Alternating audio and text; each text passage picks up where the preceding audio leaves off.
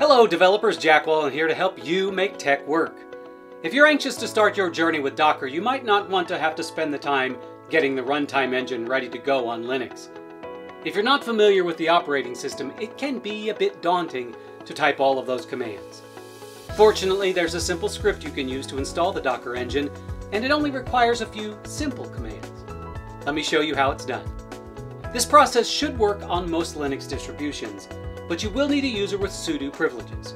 How do you pull it off? Let me show you. Log into your Linux machine and download the required script with the command curl-fs capital S capital L https colon slash slash get.docker.com dash o install dash docker.sh.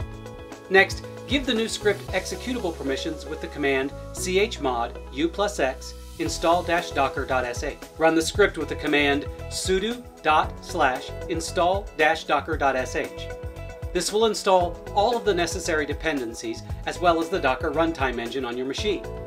The last thing you must do is add your user to the Docker group with the command sudo usermod a capital G docker dollar sign capital user.